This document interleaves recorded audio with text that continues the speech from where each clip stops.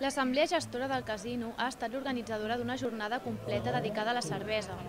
És la primera edició, nosaltres, per nosaltres era un repte fer, un, bueno, fer aquesta fira aquí al casino perquè no sabíem una miqueta com encarar-ho. No?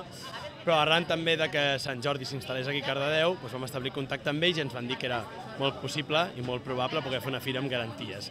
A partir d'aquí vam establir contacte amb ells i amb la resta de cervesers i vam decidir muntar aquesta fira aquí a l'octubre. La fira ha comptat amb la presència de quatre cerveseries artesanes pròximes a la vila de Cardedeu. Edbir, Hops, Catalan Rebel 8 i la Sant Jordi, la cervesa artesana de Cardedeu que va sorgir per la Diada de Sant Jordi d'aquest any. Cerveses negres, de més roses, de torrades... Les diferents cases han ofert una àmplia gamma de gustos per arribar així a tots els consumidors. Elaborem dos tipus de cervesa, la Rels i la Leda Drac.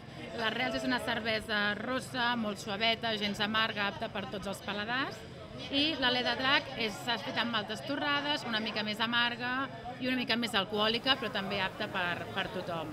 També hi ha hagut parades gastronòmiques amb productes de proximitat, així com entitats que proposaven al client elaborar una cervesa de creació pròpia oferint els mitjans necessaris per fer-ho.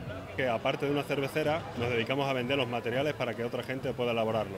Pablo Vijande inventó un sistema a base de neveras y de olla para poder hacer en tu casa 20 litros.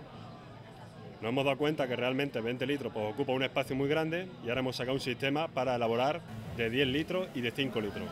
Al llarg de la diada s'han organitzat diferents actes per amenitzar la jornada.